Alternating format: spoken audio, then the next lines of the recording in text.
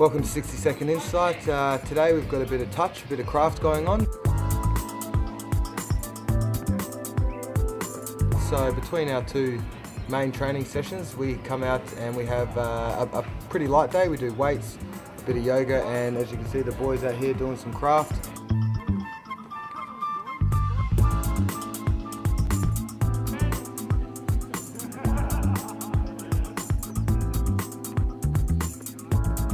So we just sort of get around 10 minutes, do some hands, uh, a little bit of goal kicking, um, just sort of get, get, a bit of touch, get a bit of feel, and um, and we're just fine tuning a bit of skills.